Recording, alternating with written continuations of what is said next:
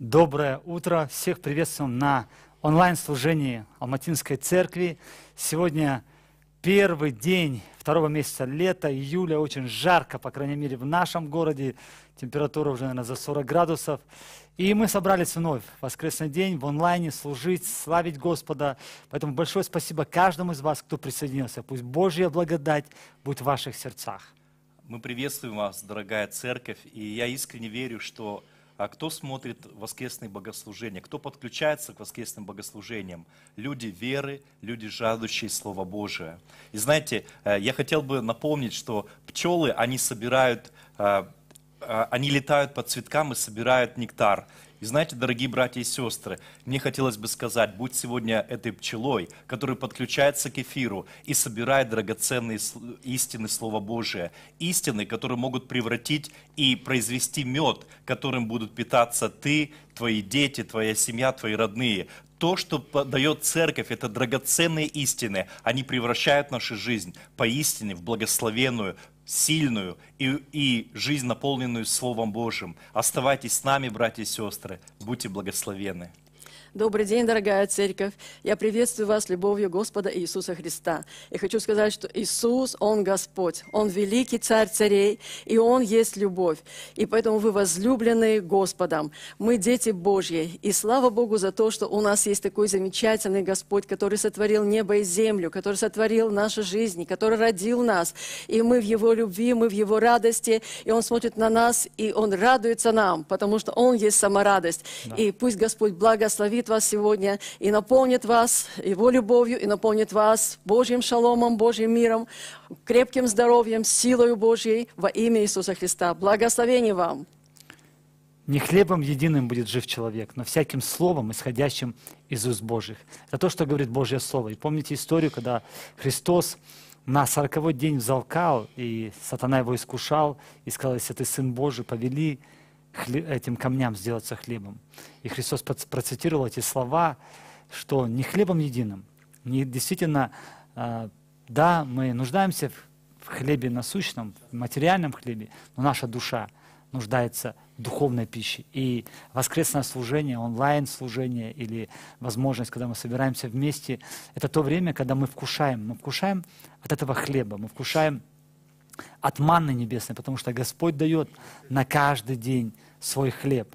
Мы молимся и Отцу Небесному и просим, чтобы Господь дал хлеб на этот день. И Он дает хлеб на каждый день, на каждую ситуацию и на каждое обстоятельство, потому что Он живой хлеб, Он Слово, сшедшее с небес. И мы верим в Бога, который говорит. Наш Господь не молчащий Бог, это не идол, не истукан, который молчит. Это Бог, который говорит и Он говорит с нами через Слово. Он говорит с нами через учение, которое мы слышим в церкви. И я бы хотел, чтобы мы сейчас помолились и настроились на эту волну, для того, чтобы принимать хлеб, принимать хлеб с неба. Отец Небесный, я прошу Тебя, благослови. Благослови наши сердца, благослови, Господь, сегодняшнего а, проповедника, пастора, епископа, служителя Игоря Андрейкина, который будет делиться с нами сегодня в этом онлайн-служении Словом Твоим. Пусть наше сердце будет способно принимать, слышать, услышать, Господь, те истины, ту истину, которую Ты желаешь говорить в наши сердца. Мы ожидаем, мы настраиваемся, Господь, для того, чтобы получать, принимать Твое Слово.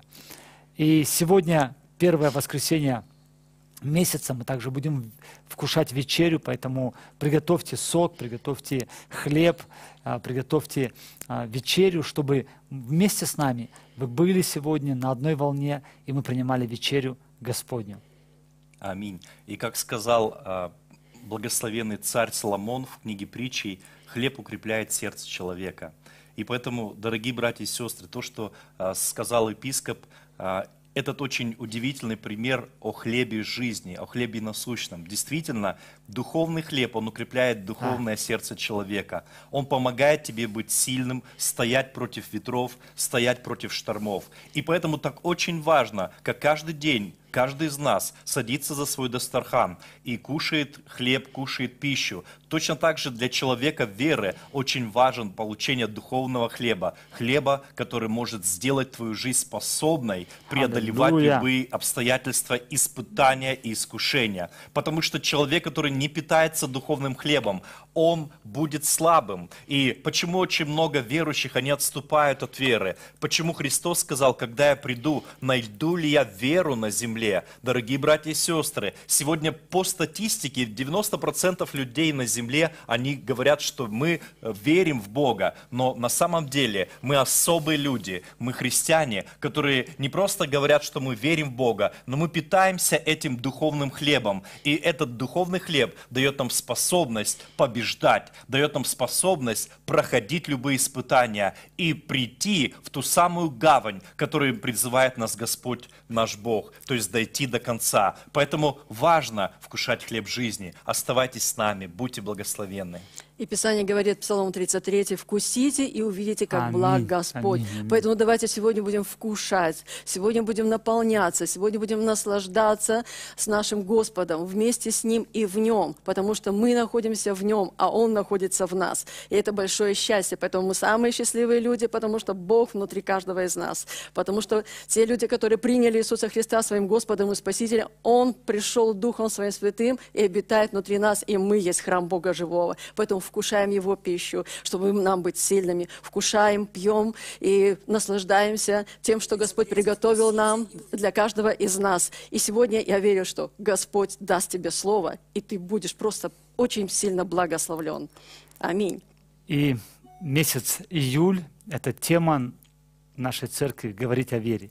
Несколько месяцев назад с пасторами церкви мы сидели, размышляли, и мы пришли к такому а, решению, и я верю, что это инспирировано и вдохновлено Духом Святым, чтобы мы учили в церкви сериями проповедей, то есть кирпичик за кирпичиком, учение Христова, Слово Божье, оно вселялось обильно в наши сердца. Поэтому прошлый месяц мы говорили о призвании. Прошлое воскресенье проповедовал пастор Алексей. Спасибо, Алексей, было потрясающее слово о работе, было хорошее слово о том, что мы своим трудом, своей работой также можем прославлять Господа, молиться и трудиться, верить. И этот месяц сегодня мы начинаем первую э, серию проповедей о вере. И у нас в гостях сегодня в онлайн служении будет проповедовать и делиться Божьим Словом уважаемый человек Божий, епископ, служитель, пастор Тимиртауской евангельской церкви Игорь Андрейкин. И я в ожидании, в ожидании Божьего Слова. Я знаю, что Бог приготавливает для нас что-то потрясающее, что-то интересное что-то сильное. И очень важно нам быть открытыми, открытыми быть к Слову Божьему. Ведь а, Господь, Он говорит, я творю все новое. И Его милость обновляется. Знаете, мы не живем старой милостью, мы не живем позапрошлой, позавчерашней милостью. Божье Слово говорит, что горы сдвинутся, холмы поколеблются, милость Господня никогда не пройдет. И она обновляется каждое утро. Она обновля- обновилась сегодня в вашей жизни. И какая бы ситуация в вашей жизни ни была, доверяйте, доверяйте Богу и вкушайте Божье Слово. Пусть Слово Божье наполняет, наполняет наше сердце. И мы в ожидании того, что Господь хочет нам сегодня сказать, и этот месяц мы говорим о вере. Вера. Вера, которая побеждает мир. Вера, которая жива. Вера действенна. Вера, которая помогает нам проходить через штормы и бури. Вера, которая помогает нам довериться Богу, как дети доверяют Отцу. И сегодня вы услышите особенную грань о вере, и я не буду говорить, какую грань, я хотел бы, чтобы это для вас было таким ожиданием, но настройте свое сердце на волну Божьего Слова. Благодать Божья да пребудет с вами, и я всех вас приветствую, я вижу здесь уже 61 подключение, и те молитвенные просьбы, которые будут поступать в течение этого эфира, в течение этого служения, в конце мы завершим. Мы опять вернемся сюда с пасторами, служителями и завершим. Те молитвенные просьбы, которые вы пишете, мы стараемся молиться за каждую просьбу. Потому что много может усиленная молитва праведника. Аминь. Да, и, и как сказал пастор Иван, а, вера и ожидание – это два слова, которые связаны между собой.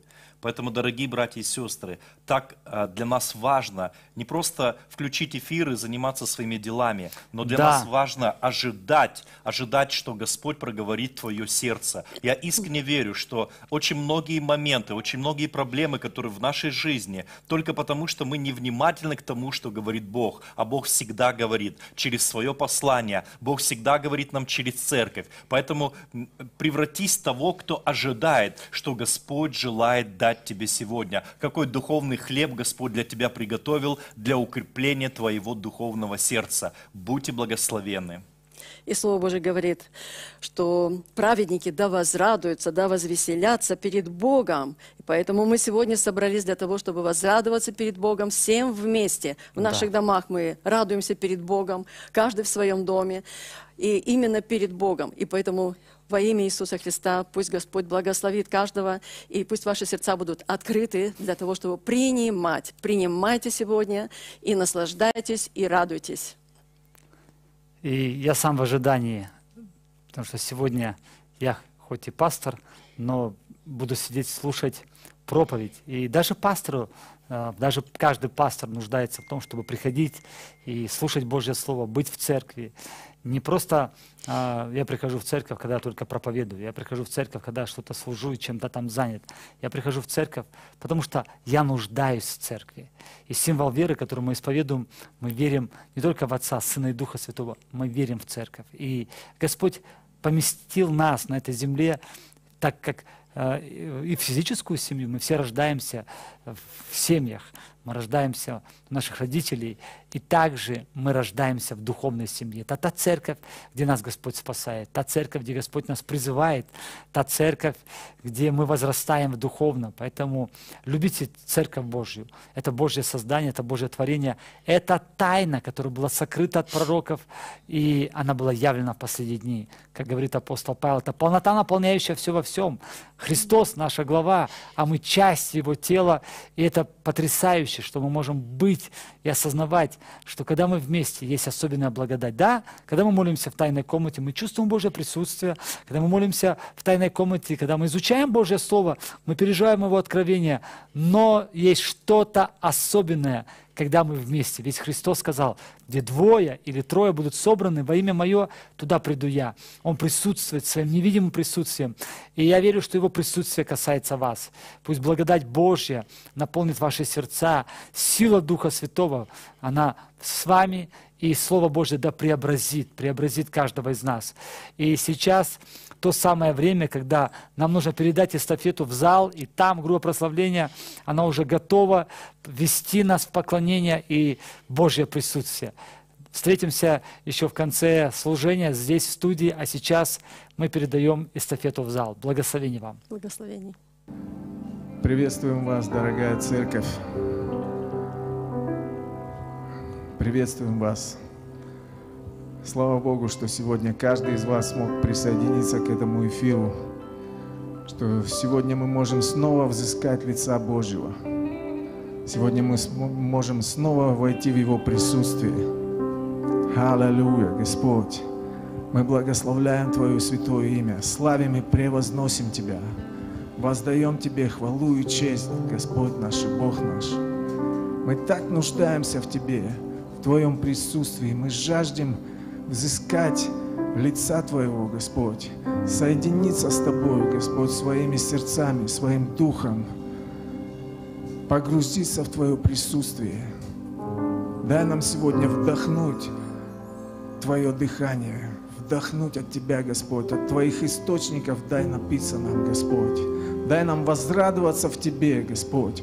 Пусть душа наша ликует, пусть душа наша радуется в Твоем присутствии, потому что Ты Бог наш, который спас нас. Ты Бог наш, который даровал нам победу. Ты Бог наш, который даровал нам все, все обетования, будущность и надежду, Господь. И в Тебе мы имеем эту радость, Господь. Аллилуйя. Будем славить и превозносить Тебя, Господь наш и Бог наш. Ты достоин всей славы. Аллилуйя. Аллилуйя.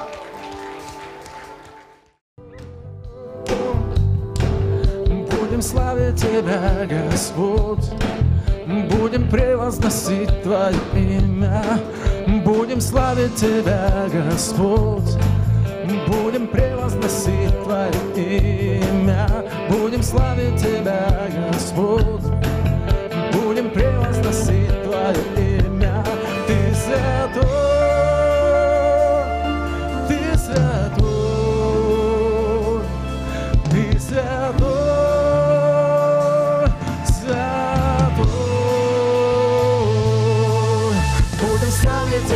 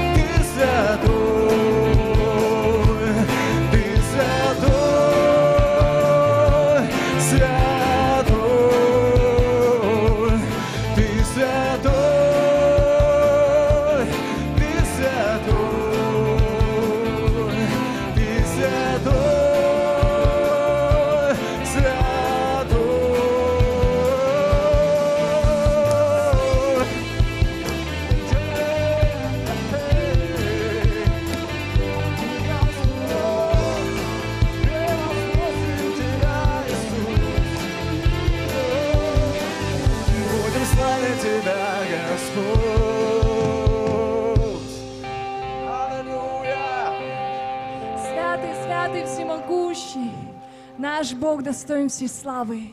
Поклоняемся Тебе, Господь. Аллилуйя! Мы благодарим Тебя за новый день, который Ты сотворил для нас сегодня. И мы свои ус- устами, своими голосами будем славить Тебя. Аллилуйя, Иисус.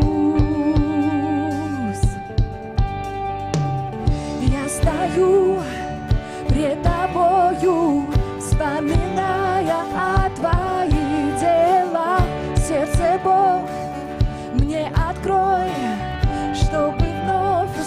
услышать голос Твой.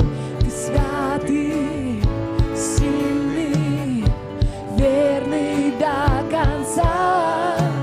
Спаситель, целитель и друг на века.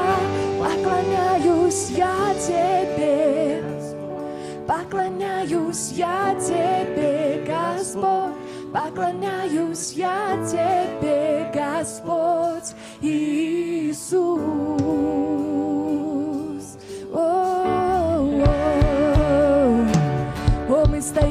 тобой, Господь наш, великий, великий, славный Бог.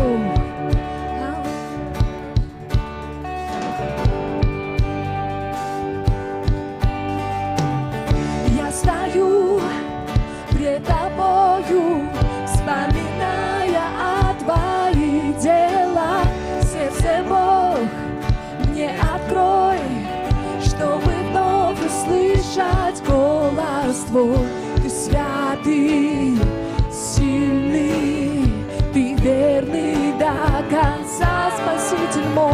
Спаситель, Целитель и друг.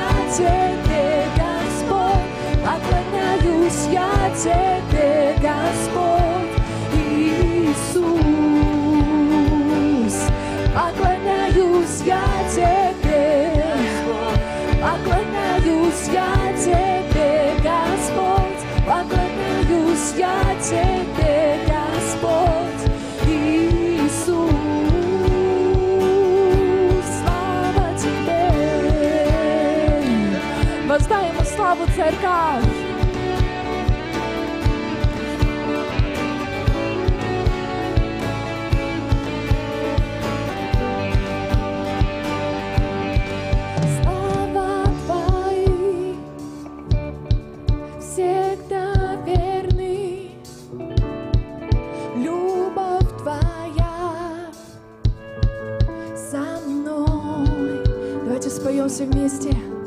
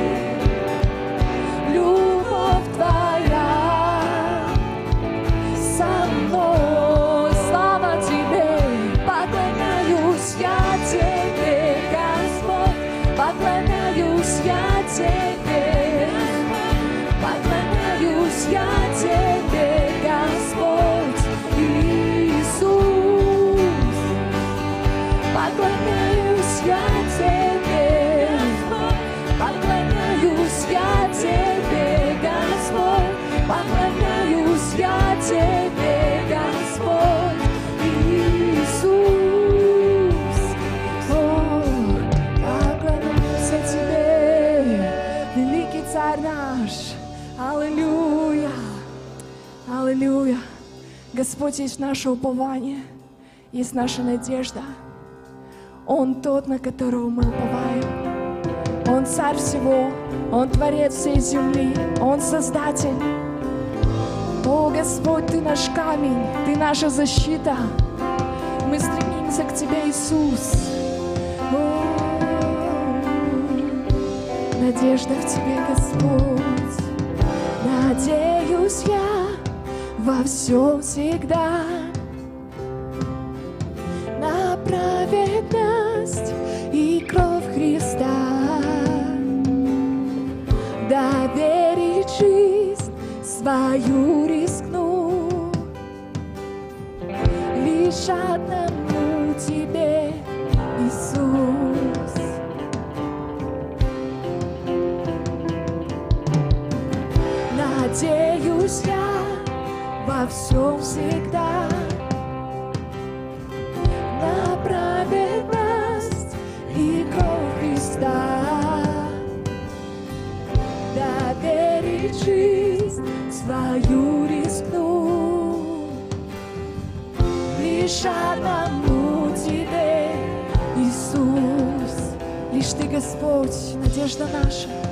лишь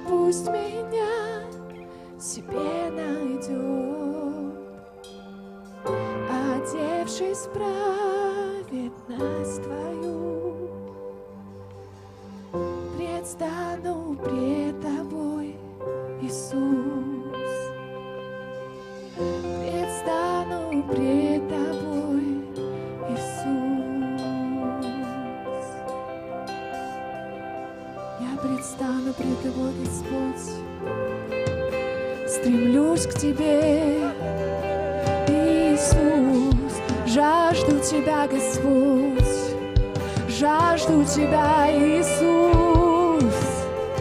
О, лишь Ты нужен мне, Господь мой. Церковь, давай вместе споем. Лишь Христос,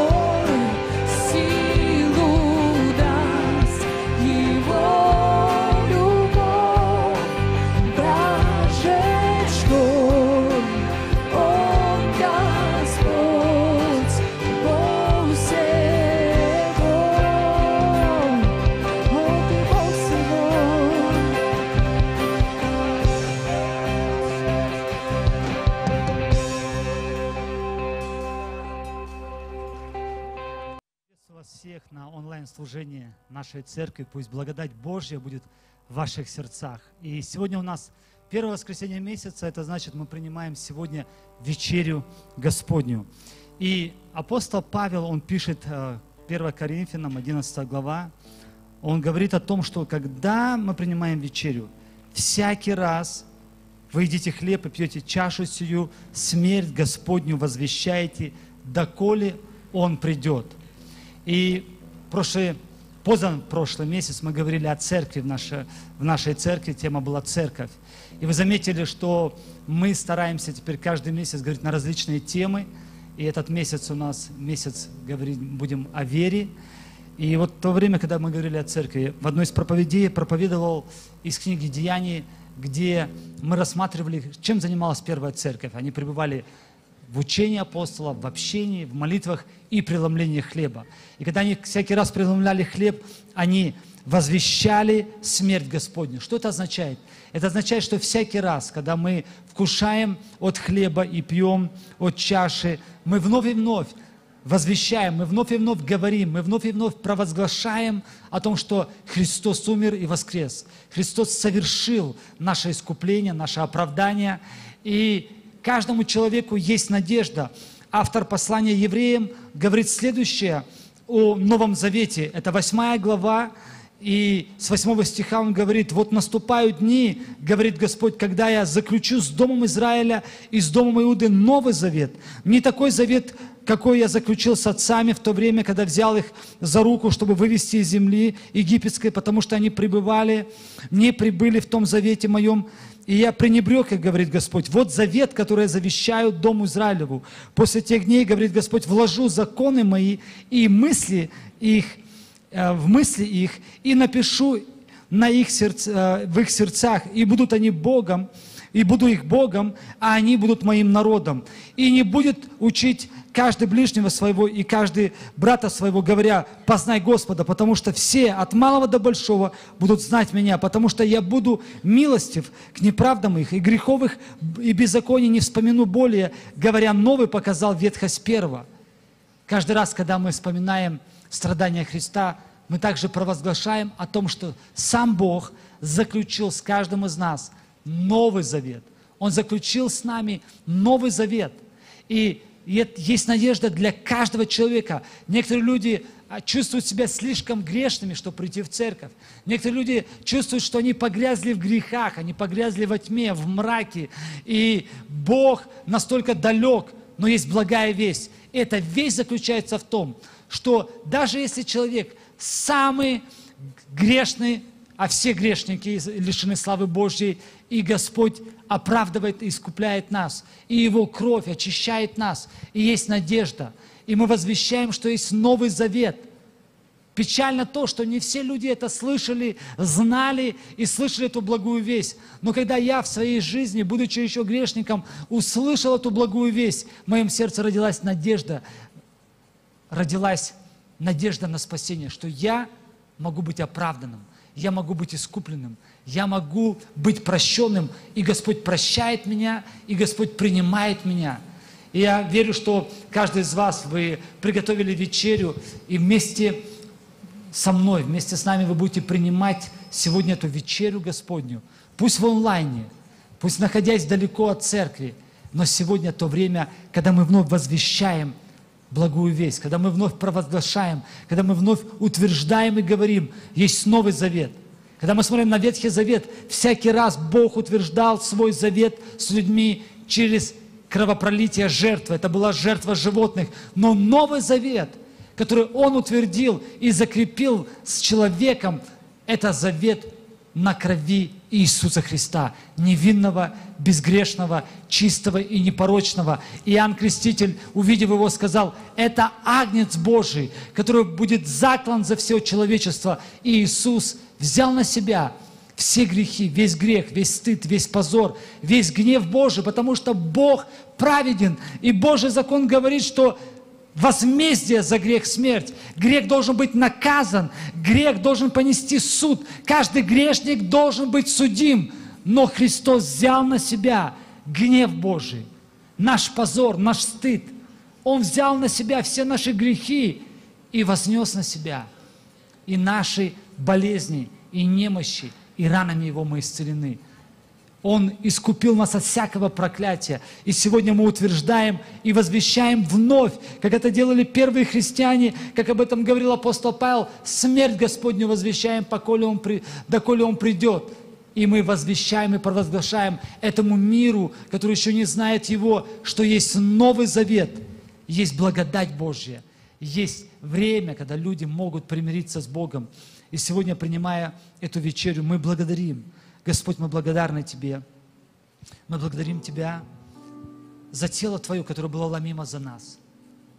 Кушая эту вечерю, Господь, мы благодарны Тебе, что мы можем быть в Твоем присутствии. Мы благодарны Тебе, Господь, что мы можем возвещать, и эта весть звучит, благая весть, что Ты заключил с нами Новый Завет. Новый Завет – мы благодарим Тебя за тело Твое, которое было ломимо. И мы вкушаем, Господь, и благодарим Тебя за это.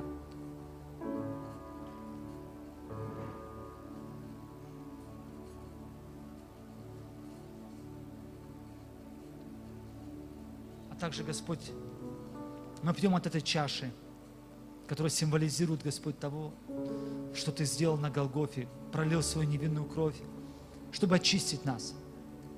Кровь Твоя убеляет нас, очищает, восстанавливает. Мы благодарим Тебя.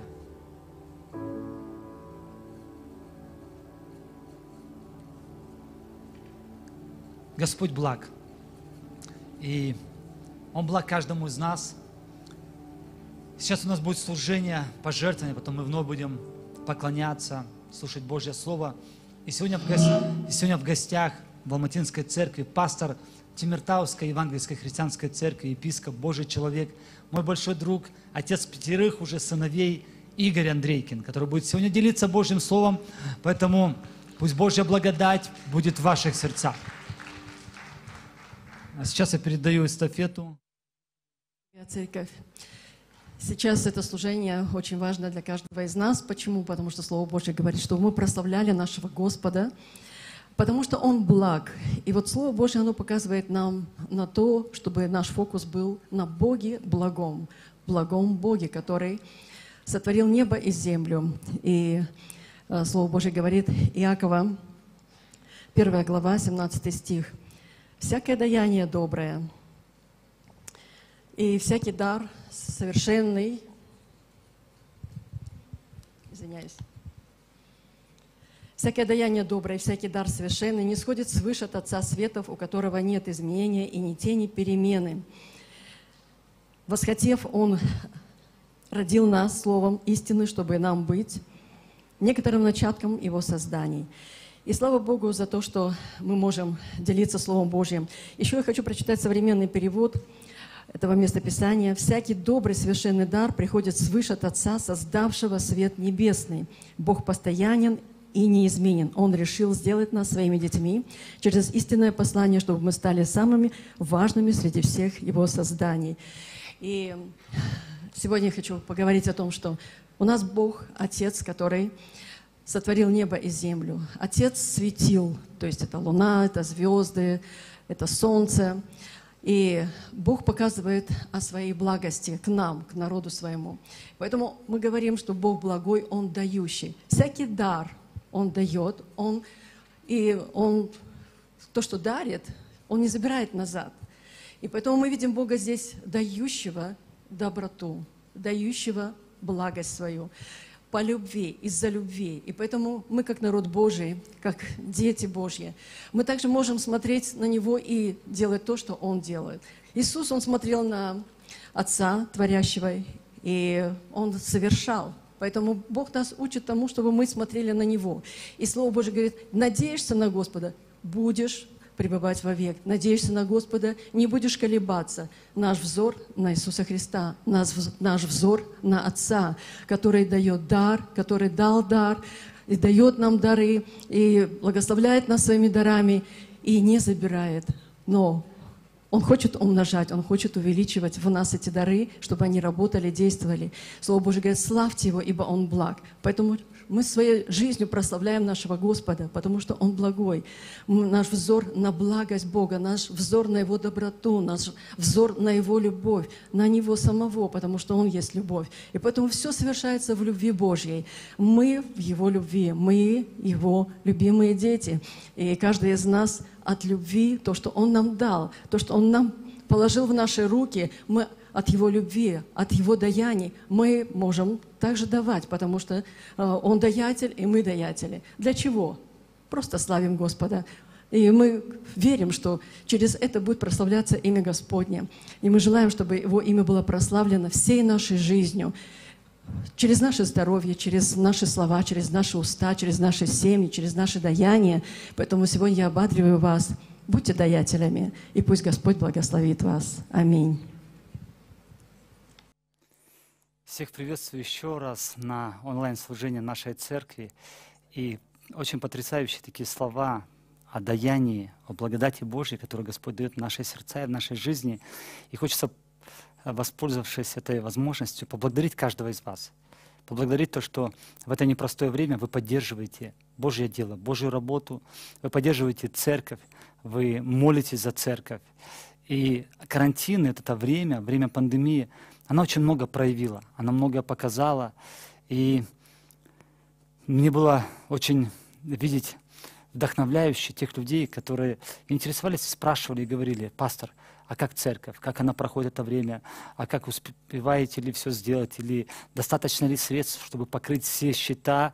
Ведь что интересно, у коммунальных услуг нет карантина, и их не берет пандемия, и счета, как приходили, не знаю, обратили ли вы на это внимание или нет, но а, каждый день вовремя, число в число приходят счета, каждый день, вернее, не каждый день, а каждый месяц а, приходит а, сообщение, выше эти показания газового счетчика, электросчетчика, там, все эти вещи, они продолжают быть. И вот это время, карантин пандемия, он показал, что действительно мы продолжаем любить церковь, мы продолжаем заботиться о ближних, мы продолжаем делать дела милосердия. И я думаю, что это время, это время, когда нам как никогда нужно быть чувствительными, быть открытыми к нуждам людей, к нуждам Божьего дела, к нуждам церкви. И мы видим руку Божью, мы видим, что, несмотря на все эти времена, мы можем даже делать ремонт, обновлять в нашем здании, делать какие-то а, решать какие-то вопросы, а также продолжать делать дела милосердия, служить, служить в других местах, посещать другие места. Например, уже в течение а, ряда времени пастор Петр посещает Талдыкурганскую церковь, а, где сейчас он также а, оказывает пасторское внимание этой общине. И это время, это пора, это лето, когда к нам приезжают гости, кстати, буквально через некоторое время а, служение продолжит пастор Игорь Андрейкин. И я вижу, как пасторы и служители со всех городов Казахстана, они стремятся летом побывать в Алматы. Они приезжают, они звонят, они приезжают с семьями. И это также возможность и благодать для нас принимать и служить а, пасторам, служить тем, кого однажды мы отправили на миссию, проповедовать Божье Слово в различных городах они приезжают сюда. Они приезжают в Алмату, потому что они считают и признают и принимают нашу церковь как базовую церковь или материнскую церковь. И Бог дал благодать Алматинской церкви. Через нашу церковь Бог совершил очень многое. И мы не только вспоминаем и ностальгируем, потому что иногда мы можем просто из-за ностальжи, из-за ностальгии вспоминать только былую славу и прошлые времена и говорить, о, как было хорошо тогда, в прошлом. Но вера – она простирается вперед. Вера, она связана с тем, с чем-то, что произойдет в будущем. И этот месяц мы посвятили говорить о вере. Как я сказал в начале служения, некоторое время назад, Дух Святой положил в наши сердца.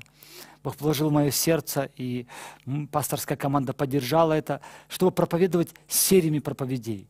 И сегодня мы начинаем тему говорить о вере и пастор Игорь будет делиться. И я верю, я знаю, что ту грань, которую он откроет, ту грань, которая будет открыта, когда сегодня на первом служении он делился, я сидел и практически все служение умилялся, я плакал. Дух Святой так глубоко, так сильно, так нежно касался моего сердца, потому что та грань веры, которая была открыта пастором Игорем, для меня открылась по-новому. Ведь каждая тема, каждая истина, она словно бриллиант – она имеет раз, различные грани, и она имеет различные, а, различные а, откровения. Поэтому очень важно, а, чтобы мы, чтобы мы были открыты. И я верю, что то слово, которое сегодня вы услышите, оно особенно откроется для каждого из вас. А пока будет идти проповедь, моя просьба к вам, как пастору, пишите свои молитвенные просьбы – пишите, не стесняйтесь, может быть, какие-то ситуации. И в конце служения с пасторами церкви, служителями мы, мы будем молиться, мы будем а, верить и ожидать то, что Бог, то, что Бог будет действовать. Я бы хотел, чтобы сейчас мы помолились, помолились за церковь, помолились за церкви. Я говорю всегда это, где бы я ни находился, в прошлое воскресенье я служил а, в одном из городов а, Казахстана, также мы представляли нового пастора. Э, я был в прошлое воскресенье в нашей столице и также посетил город Степногорск, где мы представили церкви нового пастора. Возможно, вы слышали, вы знали, что произошло в Степногорске два года назад. А, оставил эту землю, ушел из жизни очень рано. Прекрасный человек Божий, пастор Евгений Медведев. И почти два года церковь была без пастора. Да, кто-то заботился, посещал, плюс год карантина. Но в прошлое воскресенье мы представили нового пастора, э, пасторскую семью, которая будет заботиться о церкви. Это был трогательный момент. момент, наполненный сокрушением, смирением, слезами и благодати Божьей. Поэтому теперь церковь Степногорский имеет пастора, который служит там, имеет пасторскую семью, имеет заботу. Поэтому я верю, что когда мы проходим эти времена, это время, когда мы ставим плечи, подставляем руку помощи, поддерживая друг друга. И нету воскресения, я это говорю всем нашим церквям, чтобы мы не помолились за Казахстан, чтобы мы не помолились за наши церкви.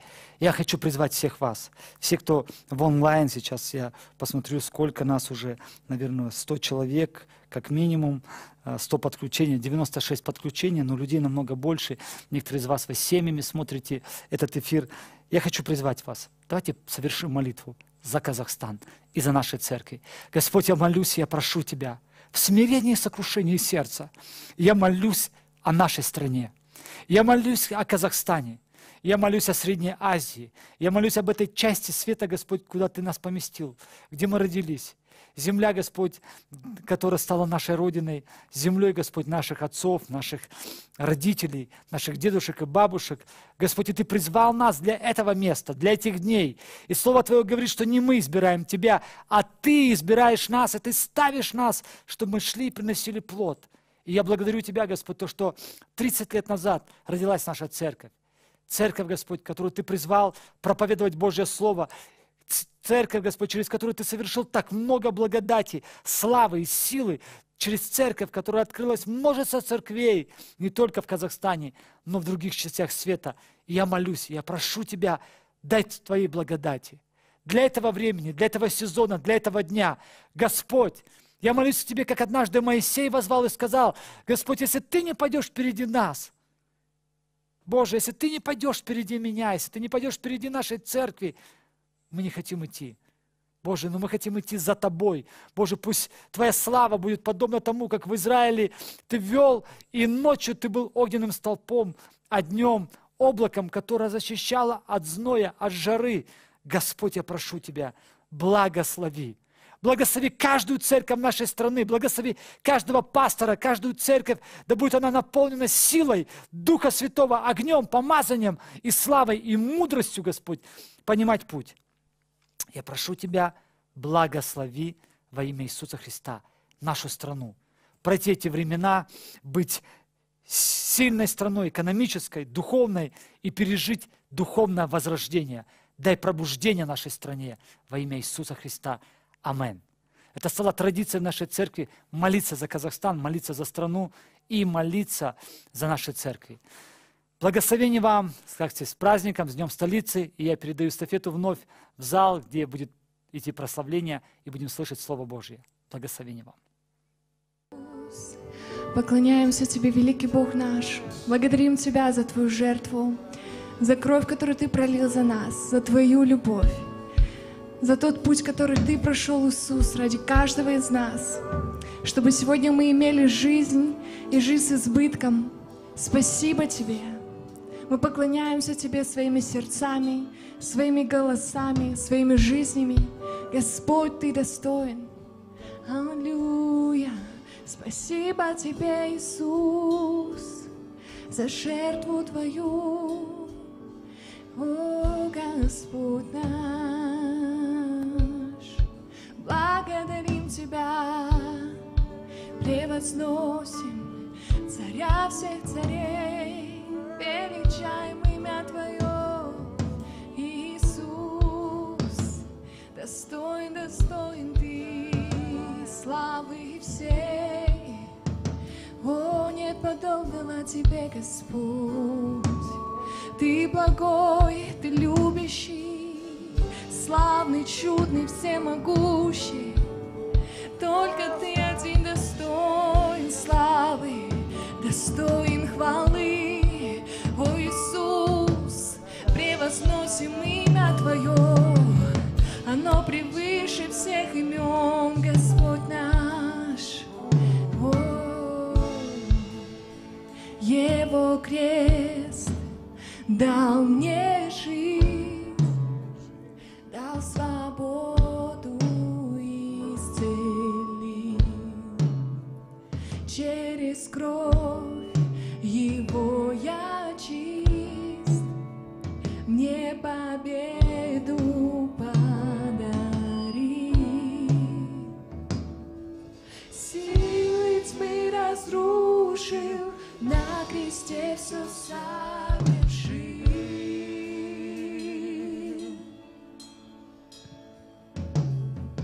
Нам вернул свободу,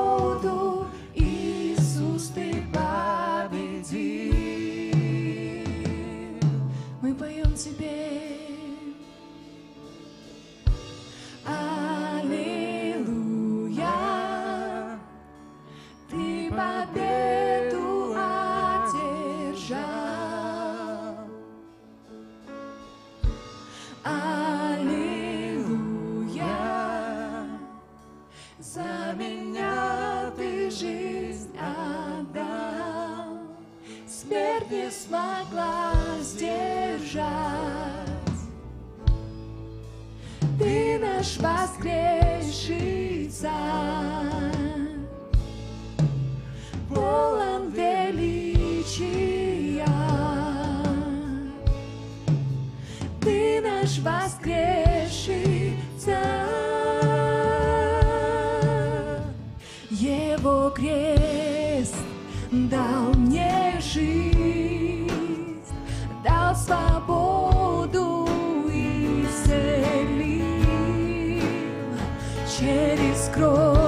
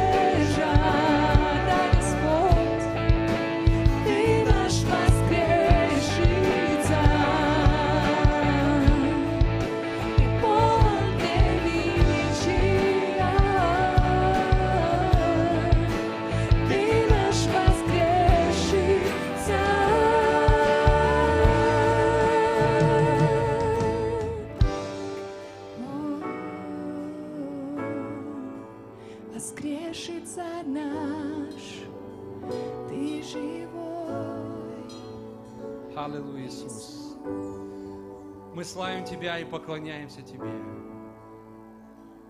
Прими, Господь, эту хвалу из уст наших сегодня. Мы благодарим Тебя, пусть простирается эта хвала к небесам. Аллилуйя,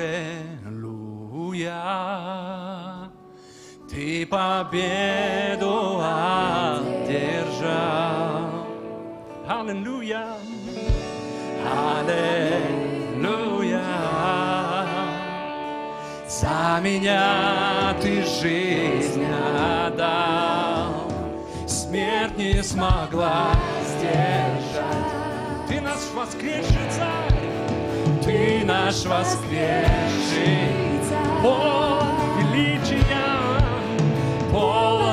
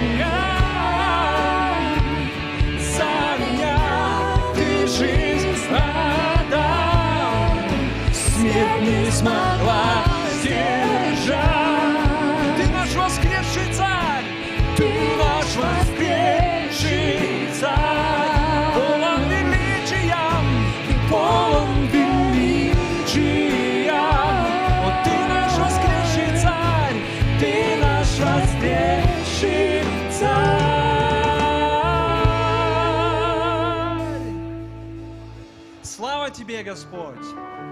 Благодарим Тебя за Твою смерть и воскресение Твое, за вечную жизнь, которую Ты даруешь каждому уверовавшему в Тебя. Благодарим Тебя, Иисус, за то, что Ты рядом с нами, Ты в наших сердцах, Ты вселился в наших сердцах. Благодарим Тебя, что Ты посреди народа своего.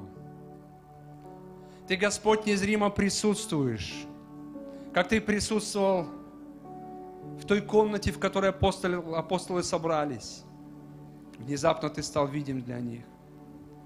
Но даже когда Ты был невидим для них, Ты был там посреди них. Сегодня, Господь, Ты посреди нас. Мы молимся Тебе, коснись наших сердец. Твоим Святым Духом открой их, Господь. Пусть наши сердца будут доброй почвой для семени Твоего Слова. Благослови меня, Господи, служить сегодня Словом народу Твоему. Дай мне благословение Твое, Господь. И благослови всех нас, Господи, напитаться Твоим Словом, Твоим посланием, Господь. Помоги нам, Господи, верно преподавать Твое Слово, Твою истину. Господь, потрудись в наших сердцах, мы очень сильно нуждаемся в Тебе, Твоим Святым Духом, Господь. Мы за все Тебя благодарим, мы славим Тебя и превозносим, Отец и Дух Святой, во имя Иисуса Христа. Аминь. Слава Богу, давайте восплещем Господу. Все народы восплещите Ему. Большое спасибо, команда прославления. Слава Господу. Присаживайтесь, пожалуйста. Огромный вам привет из Тимиртау от нашей общины. Благословений Божьих вам, всем, кто смотрит эфир этот.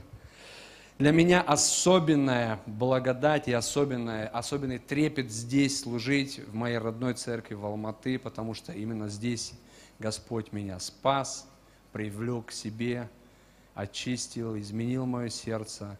Здесь я крестился в нашей церкви, здесь, в Алмате. И учился в библейском, в библейской школе, так она тогда называлась, и в 93 году был выслан на миссию. И вот с тех пор служу Господу вне Алматы. Но для меня это всегда особенный трепет и особенно, особая честь. Спасибо, пастор Иван, за приглашение. Слава Господу! Я слышал, что мы, начинаем, вы начинаете здесь серию проповедей о вере. Слава Богу! Оказывается, я первый, кто открывает эту серию. Я думал, она уже шла. Вот, слава Богу. Мы сегодня будем говорить о вере. Но вначале я хотел вот такой вопрос задать. Слышали ли вы когда-либо от людей, что люди говорят, я не верю в Бога?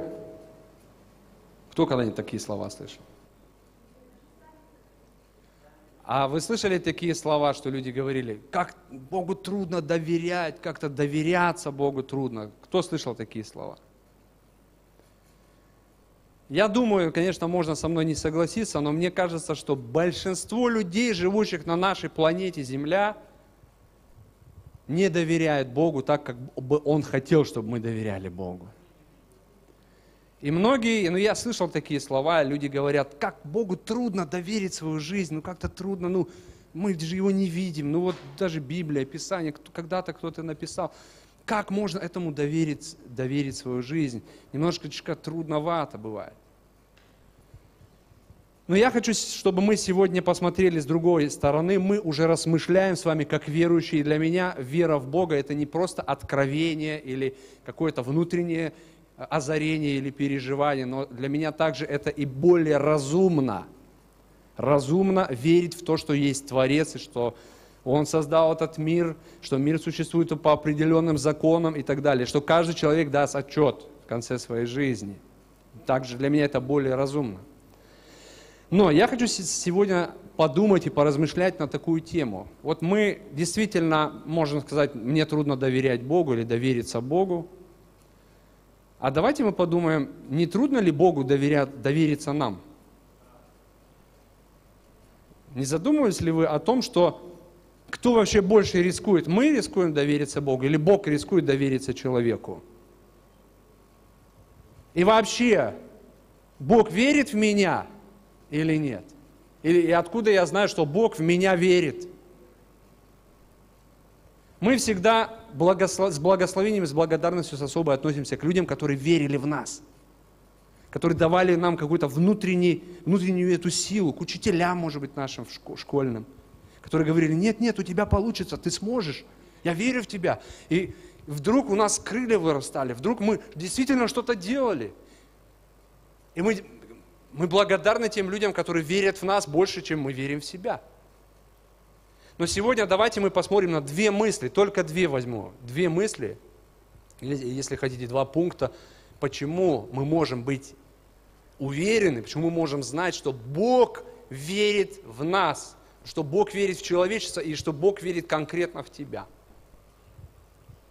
Первое, о чем бы хотелось сказать, наверное, это самое главное, что Божья вера в людей, Божья вера в тебя и в меня проявляется в Его великой любви. То, что Бог верит в человечество и то, что Бог верит в меня, я могу знать потому, что Он Сына Своего не пощадил и отдал за нас. Он отдал Своего Сына, веруя в то, что миллионы, миллионы людей, может быть даже миллиарды, будут с Ним, будут спасены. И конкретно каждый из нас. Послание к римлянам, 5 глава, 8 стих, апостол Павел говорит здесь об этой истине, прекрасной, великой истине, этой великой Божьей благодати. Римлянам 5.8. Но Бог свою любовь к нам доказывает тем, что Христос умер за нас, когда мы были еще грешниками, то есть мы не искали Его, мы не знали Его, мы не верили в Него. Но Он доказывает свою любовь. Он доказывает, что Он верит в нас. Потому что Иисус Христос умирает на кресте. Поэтому, тем более ныне, сейчас, будучи оправданы кровью Его, спасаемся им от гнева. Ибо если, будучи врагами, мы примирили- примирились с Богом смертью Сына Его, то тем более, примирившись, спасаемся жизнью Его- Его. И недовольны всего, но и хвалимся Богом через Господа нашего Иисуса Христа, посредством которого мы получили ныне примирение. Великая благодать. Бог верит в нас. Мы не верили в Него, мы не искали Его, мы не любили Его, мы вообще не знали Его. И более того, может быть, мы жили, ну не может быть, а в основном мы жили в искаженных представлениях о Боге. Но Бог все это время верил в нас, искал нас. И те, кто, я, я верю, что те, кто здесь сидит, и многие, кто слушают нас через интернет, Он нашел нас. Аминь. А кого-то найдет. Все Писание – это пример великой Божьей благодати. И так много можно об этом говорить, но я хочу сегодня прочитать одну, я думаю, известную вам историю, достаточно быстро, потому что у нас не так много времени. Она написана во второй книге Царств, 9 глава, со 2 стиха. Вы можете пока открывать, кто желает. Вторая Царств 9.2. Это история, о, связанная с, с Давидом, с псалмопевцем Давидом. И я короткую предысторию скажу, что Давид, мы, мы помним его, да, Господь в, юнош, в юности его помазывает через пророка Самуила на царство, но Давид еще не был царем. Его помазание Божье проявилось, проявилось в том, что он победил Голиафа, и он начал служить у царя Саула. У, у царя Саула, тоже Божьего помазанника, был сын Иоаннафан. Это его был первый сын, первенец. Иоаннафан так проникся к Давиду, так уважал его и любил, что они ну, просто стали как братья. То есть у них была настоящая мужская дружба. Они даже заключили завет друг с другом. Завет в том, что даже если, даже если я умру, чтобы ты позаботился о моих детях. Иоаннафан человек великой души и огромного сердца, будучи царевичем, потому что, по сути, он должен был стать царем. Он должен был возглавить Израиль, можно так сказать. Потому что он первый сын Саула, своего, своего отца. Но он увидел в Давиде нечто большее. Он увидел, что Давид есть истинный царь. И он не враждовал с ним. В отличие от его отца Саула, который враждовал с Давидом, ненавидел Давида, был исполнен ярости. В конечном итоге жизнь Саула закончилась тем, что в одной из битв с филистимлянами он и вместе со своими сынами на, горе, на горах Гилвуйских был убит, и, его, и Саул, и Анафан, и его сыновья были убиты, над их телами надругались филистимляне. И Давид входит в свое призвание. Но дом Саула, продол- Израиль, 10 колен Израилев, продолжают оставаться с домом Саула. И происходит распря. Несколько лет это распря происходит между домом Саула и потомками Саула и, и домом Давида. Эта распря была, к сожалению, кровопролитная, страшная. Но через некоторое время дом Саула пал, и дом Давида победил в этой битве, можно так сказать, да, в этой битве, в этом противостоянии. И Израиль выбирает Давида как своего царя, как признает в нем Божьего помазанника. Проходит много времени, проходит много времени, и, естественно, вот этот конфликт между двумя царскими домами, отвергнутым домом и новым, да, так называемым домом Давида, проходит много времени. Вторая царств, 9 глава, 2 стих. «В доме Саула был раб по имени Сива, и позвали его к Давиду. И сказал ему царь, ты ли Сива? И тот сказал, я раб твой. И сказал царь, нет ли еще кого-нибудь из дома Саулова? Я оказал бы ему милость Божью. И сказал Сива царю, есть сын Иоаннафана, хромой ногами. И сказал ему царь, где он? И сказал Сива царю, вот он в доме Махира, сына Амиелова, в Лодеваре. Еще, раз, еще прочитая 2 царство, 4 глава, 4 стих, 2 царство 4.4. У Иоаннафана, сына Саула, был сын хромой. Пять лет было ему, когда пришло известие о Сауле и Иоаннафане, то есть о той истории, которую я вам рассказал, из Изриэля. И нянька, взяв его, побежала, и когда набежала поспешно, он упал и сделался хромым. Ну, что-то, видимо, ноги повредили ребенку или сломали. Имя его Мемфивосфей. Давайте теперь немножечко представим об этом мальчике. Ребенок, родившийся в доме Саула, в доме царя. Его дедушка, царь, его папа, можно так сказать, наследник, принц. До пяти лет он жил вот в таких условиях, но после пяти лет что-то произошло, что-то изменилось. Его скрывали, потому что была распря между домом Давида и домом Саула. И более того, э, весь дом Саула, они, они ну, могли считать, что Мемфивосфей есть главная мишень людей из дома Давидова и самого Давида. Потому что именно Мемфивосфей по крови ему принадлежало царствие, царство Израиля, царство, которое бы он ну, перенял от Саула и от Иоаннафана. Мемфивосфей, скорее всего, жил в определенных, э, в определенном э, нарративе, в определенной э, атмосфере. Ему говорили о том, какой плохой Давид. Ему говорили о том, что, как он, что он забрал у нас царство. Ему говорили, что тебе должно скрываться, тебе нужно бояться его, потому что это самый опасный для тебя человек. Никогда не говори никому, кто ты и как тебя зовут. И он жил где-то далеко-далеко в месте, которое называлось Лодевар, что означает место без пастбища или пустое место. Но что-то происходит, что-то происходит. С пятого стиха будем читать эту же главу, 9 глава, 2 царств. Может быть, это был один из его страшных снов. То есть, может быть, он просыпался в поту, в ужасе, и ему снилось, как колесницы царские подъезжают, как выходят воины, красиво одетые, в мощной, в сильной броне, забирают его, привозят Давиду и казнят его. Может быть, такие сны у него были. И вот этот сон сбылся немножечко не так, как он думал. И послал царь Давид и взял его из дома Махира, сына Амиелова, из Лодивара. И пришел Мемфивосфей, сын Иоаннафана, сын Саула, к Давиду, и пал на лицо свое и поклонился. И сказал Давид, Мемфивосфей, и сказал тот, вот раб твой. И сказал ему Давид, не бойся, я окажу тебе милость ради отца твоего Иоаннафана, и возвращу тебе все поля Саула, отца твоего. И ты всегда будешь есть хлеб за моим столом. И поклонился Мемфилосфии и сказал, что такое раб твой, что ты презрел на такого мертвого пса, как я? И призвал царь Сиву, слугу Саула, и сказал ему, все, что принадлежит Саулу и всему дому его, я отдаю сыну господина твоего.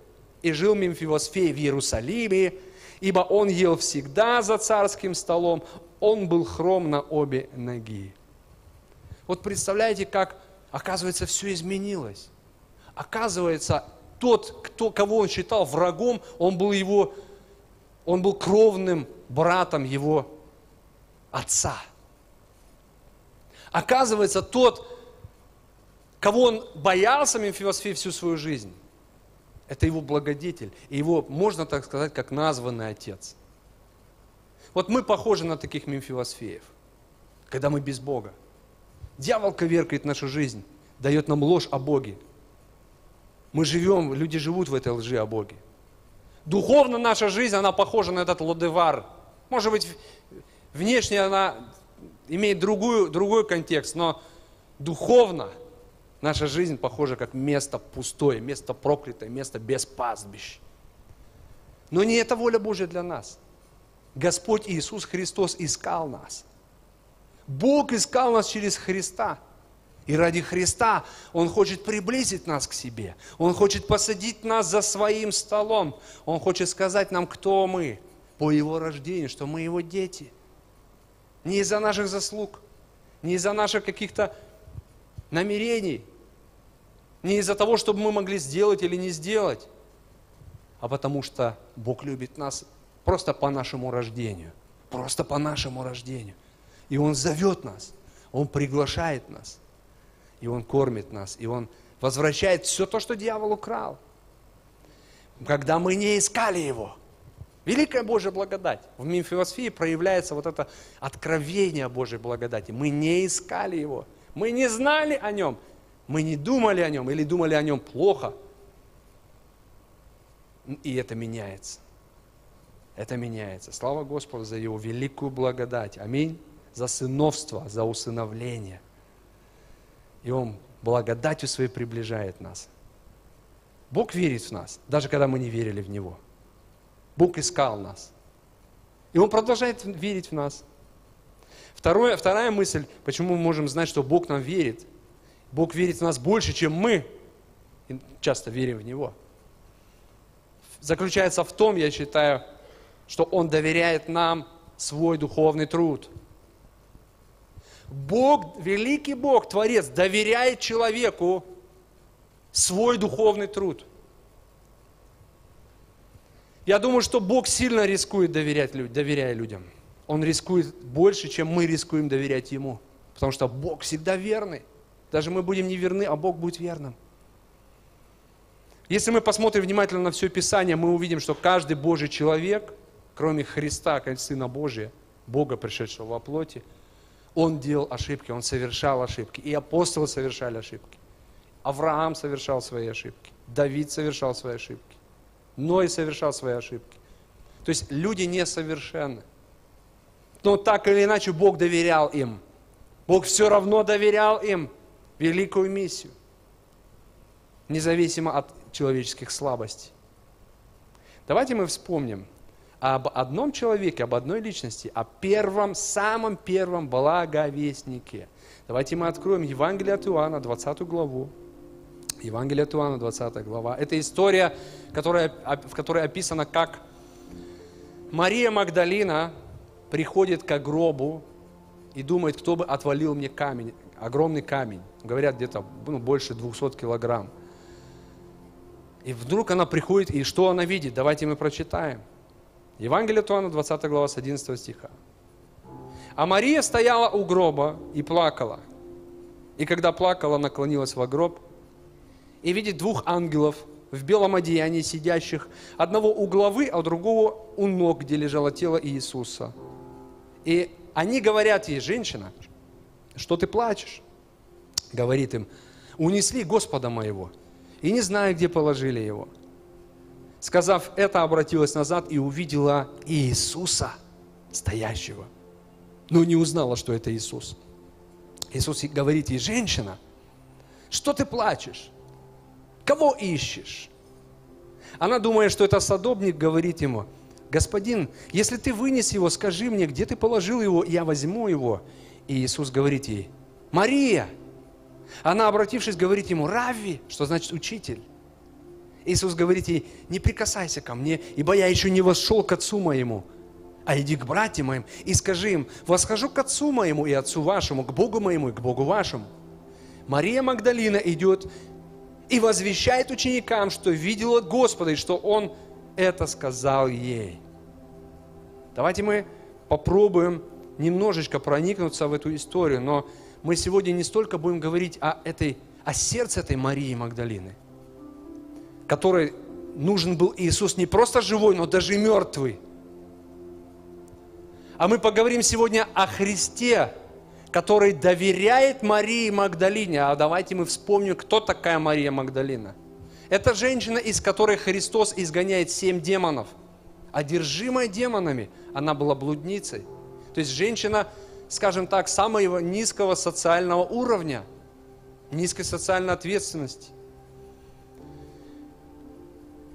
Но она тоже человек. Она и тоже, ее, ее, ее Бог тоже любит. Давайте также немножечко представим контекст, в котором она жила. То время, Израиль, и не только в Израиле, то женщина практически не имела голоса. Она не могла что-то говорить, особенно мужчинам. И ее показания даже могли не приниматься даже в судах, если мужчина говорил что-то против. Христос доверяет этой женщине великую миссию быть первым благовестником. Быть первым благовестником. Вот давайте представим, на, на секунду попробуем представить. Ну, конечно, мы не сможем это сделать в полноте, но хотя бы немножечко. Как она могла себя чувствовать? Вот представьте, как сам Бог, сам Христос, воскресший, доверять и говорит, слушай, расскажи ученикам, скажи им, что, что ты видела, скажи, что я воскрес, и я их э, встречу, да? Возвести ученикам. Господи, разве ты не мог найти других? Мужчин, именитых, умных, уважаемых. Кто я такая? Кто мне поверит? А Иисус доверяет именно ей. Он говорит, тебе я доверяю эту миссию. Представляете, да? Если мы посмотрим на себя, мы можем сказать, кто я такой, что Божье дело мне доверено. Кто мы такие, церковь? Я помню, когда в 92 году э, здесь наша церковь организовывала стадионные служения. Кто-нибудь, может быть, был на них? Кто был? Это было в 92 году, в августе. Вот Наталья была. Еще несколько человек, да? Я помню этот день, когда мы перед тем, как делать рекламу, да, мы собрались на, на этом центральном стадионе, мы приехали туда.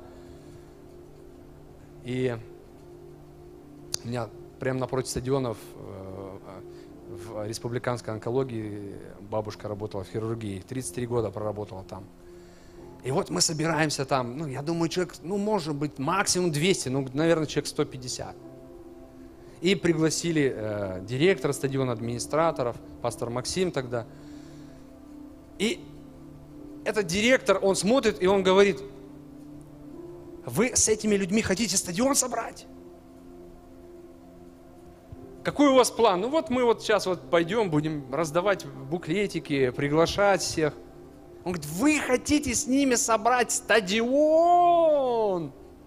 33 тысячи мест посадочных, если я не ошибаюсь. По-моему, 32 или 33. Пусть меня поправят.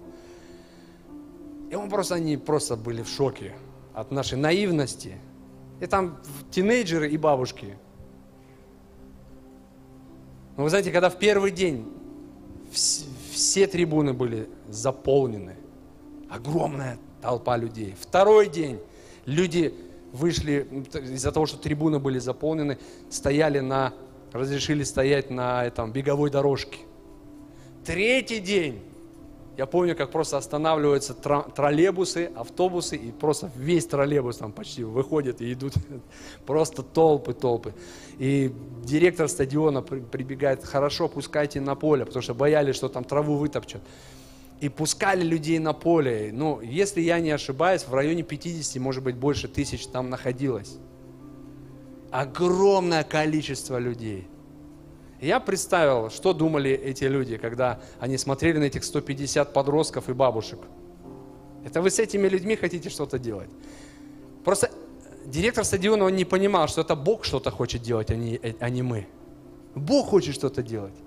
И если Бог хочет, у нас может быть просто вера с горчичное зерно, мы можем сказать, и гора передвинется. Это будет не наша слава, это будет Божья слава. 1 Коринфянам 1.25, это последнее место Писания в этой проповеди, давайте я зачитаю. 1 Коринфянам 1.25.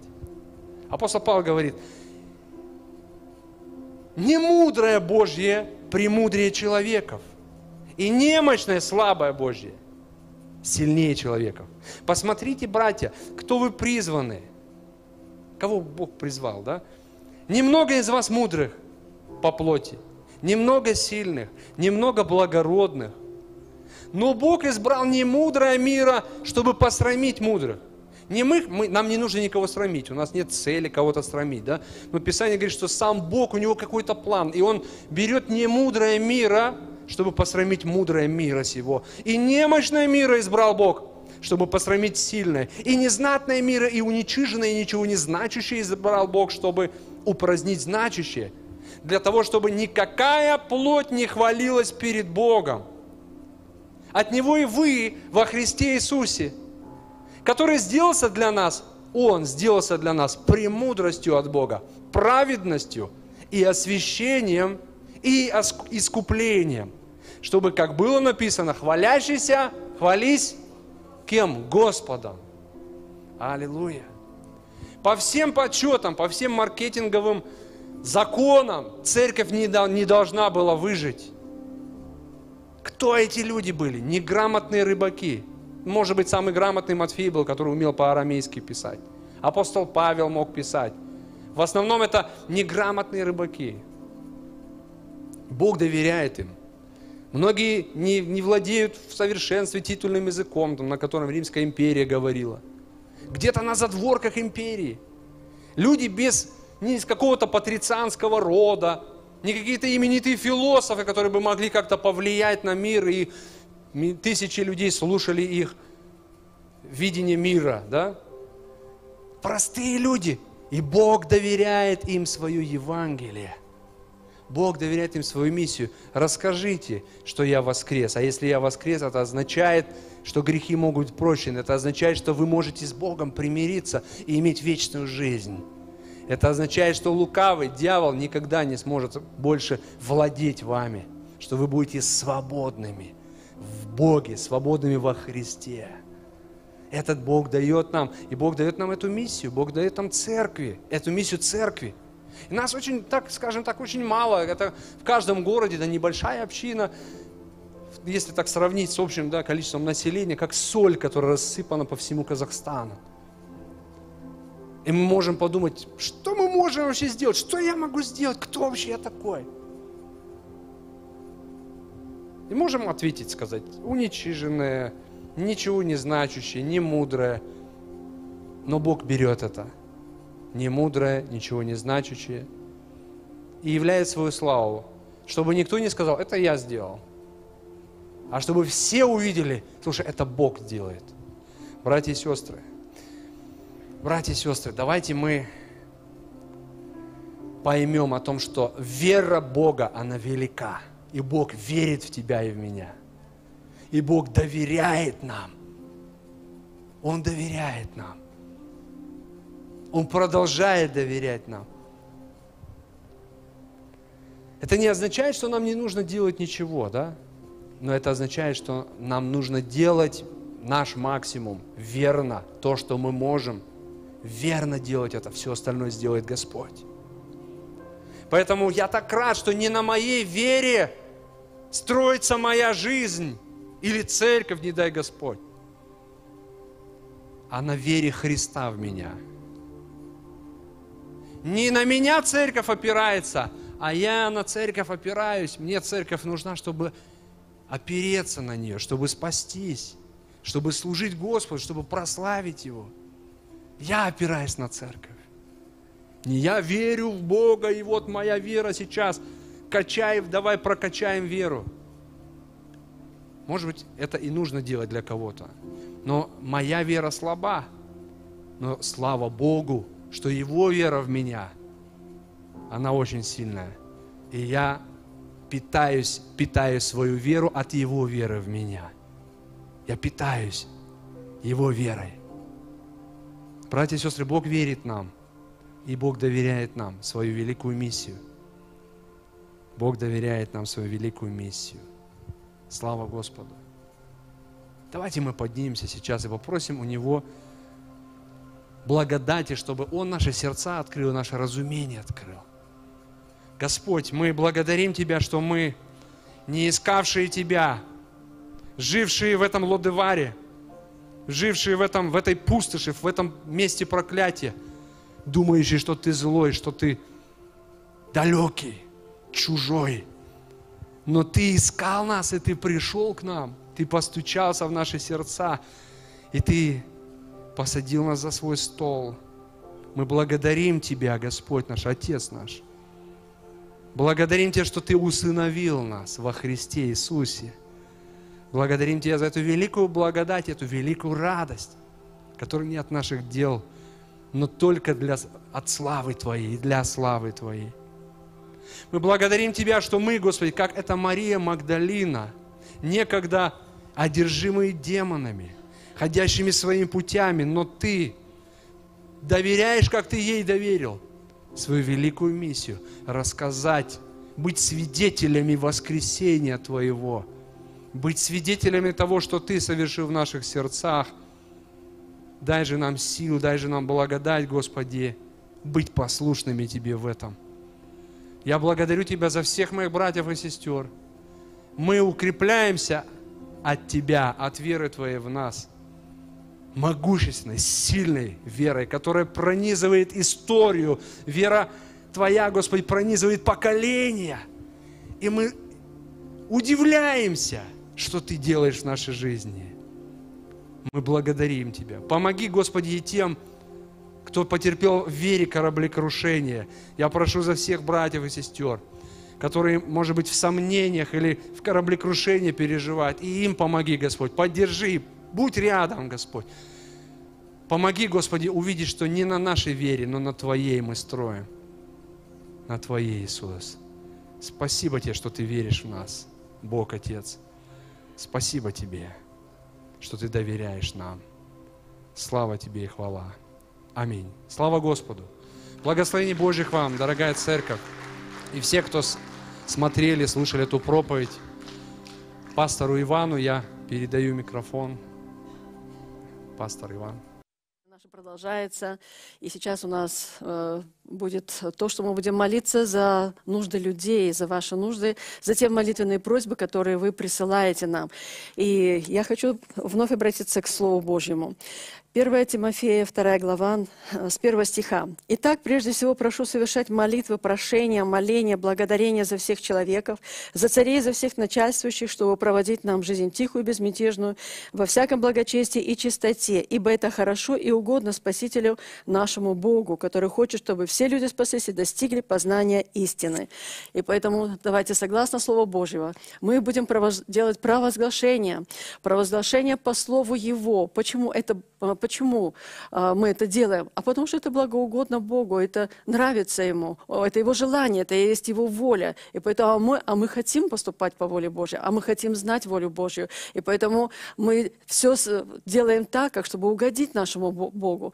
Ему это нравится, это благоугодно Ему. Поэтому мы совершаем эти молитвы не просто так, что вот э, нужда заставляет, да, иногда, конечно, бывает, нужда заставляет как бы нас, а, чтобы мы возносили э, наши молитвенные голоса от всего сердца к нашему Богу.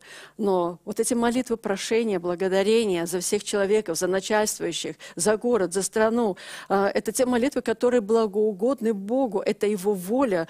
Почему? А потому что благословением праведников возвышается город. Благословением праведников возвышаются э, города и страны. Благословением праведников процветание идет э, в наши города и страны, э, э, в нашей жизни, в нашей семье. Поэтому мы благословляем. Мы благословляем во имя Иисуса Христа наш город, нашу страну. И прямо сейчас давайте мы вознесем эту молитву от всего сердца нашего во имя Иисуса Христа, чтобы Господь, Он открыл сердца людей, от- открыл себя каждому человеку, который еще не познал своего Спасителя, своего Творца. Отец во имя Иисуса, мы благодарим Тебя за Слово Твое, которое показывает нам, о чем мы можем молиться. Это Твоя воля о том, чтобы мы молились о правительстве, о, нача- о начальствующих, о властях.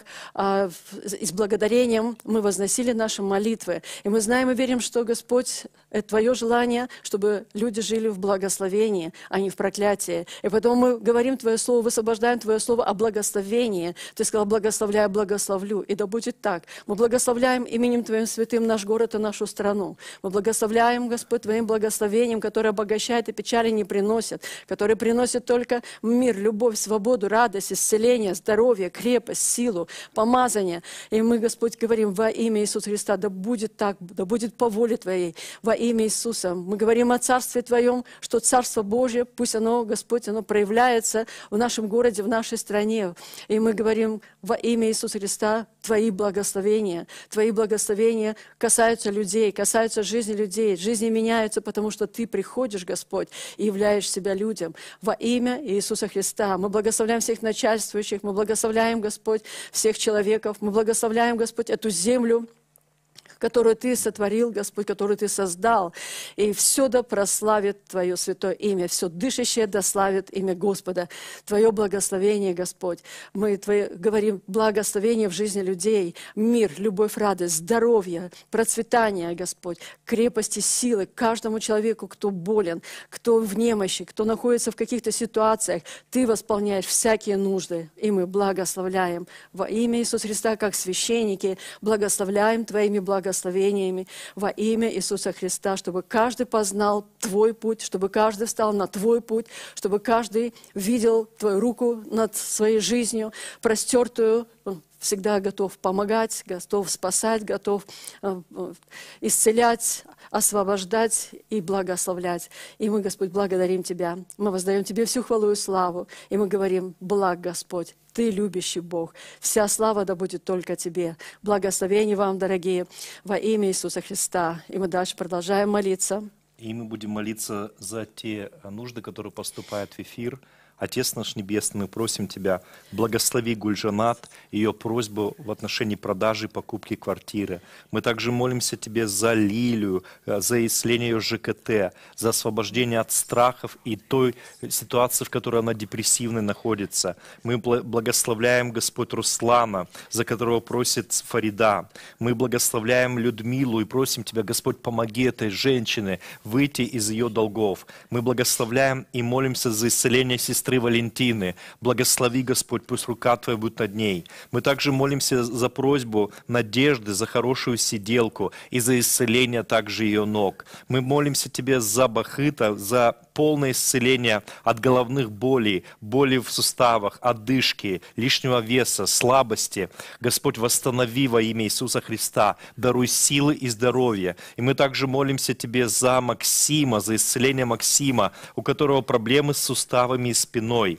Го- Господь, мы молимся Тебе, благослови и укрепи Максима. Ты видишь, что он сейчас лежит в больнице и нуждается в Твоей помощи. И мы также просим Тебя за молитву Оли, за ее просьбу за исцеление суставов правой ноги. Мы молимся Тебе, Господь, за Закира. Благослови, Господь, его, пожалуйста. Мы молимся Тебе за сестру, которая просит Тебя, чтобы пришли хорошие специалисты и помогли ей докончить ремонт. Мы молимся Тебе, Господь, за исцеление Ларисы, за исцеление ее органов, за освобождение от депрессивных состояний, за исцеление Оксаны от опухоли коры головного мозга. Мы также просим Тебя, Господь, за спасение Такена, чтобы Господь прикасался, чтобы он э, э, узнал имя Господа Иисуса Христа. Мы молимся Тебе за Раису, Господь, чтобы Ты восстановил ее сон, за исцеление ее сна, за восстановление ее настроения. Мы молимся Тебе, Господь, за Риму, за ее семью и детей, за Бахыт, за трудоустройство дочери. И особо мы молимся Тебе, Господь, за те нужды, когда люди просят э, за помощь Твою и освобождение от депрессивных состояний. Господь, Ты видишь, что сегодня это бич нашего времени, когда очень многие люди не страдают от панических атак, депрессивных состояний. Мы просим Тебя, Господь, укрепи своих святых. Помоги, Господь, понимать, что в нашей жизни все от Тебя зависит. Дай нам иметь упование, дай нам иметь кроткое сердце, что Ты, Господь, в нашей судьбе принимаешь участие. Мы благословляем Твое святое имя. Мы верим, Господь, за то, что Ты Бог слышащий. Мы также верим, Господь, что Ты отвечаешь на молитвы. И мы благословляем наших драгоценных братьев и сестер, которые просили за эти молитвы. Благослови, Господь, нас всех во имя Иисуса Христа. Аминь. Слава нашему Господу. И на этом мы заканчиваем э, сегодняшнее служение. И давайте мы скажем, что Иисус есть Господь. Провозгласите господство Иисуса Христа в вашем доме, в вашей жизни, во всех сферах вашей жизни. Почему это важно? Потому что Он действительно есть Иисус Господь, и Он любит нас. И всех благ вам, благословения вам, и Пусть Господь благословит ваш труд, дела ваших рук э, в, в течение всей этой недели. Э, просто пребывайте с Ним всегда. Во имя Иисуса Христа. Будьте благословенны. Будьте благословенны. Аминь.